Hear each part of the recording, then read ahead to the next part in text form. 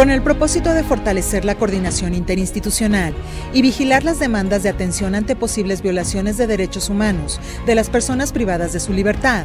se llevó a cabo una reunión de trabajo entre la Secretaría de Seguridad y Protección Ciudadana del Gobierno Federal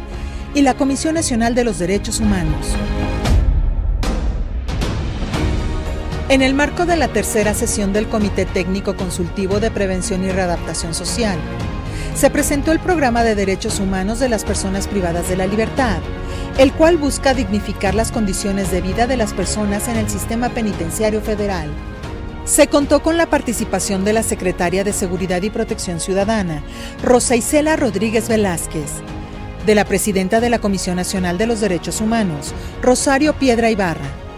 y del representante adjunto de la Oficina en México del Alto Comisionado de las Naciones Unidas para los Derechos Humanos, Jesús Peña Palacios.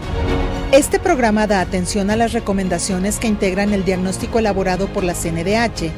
así como los estándares internacionales en materia de trato digno a las personas privadas de su libertad,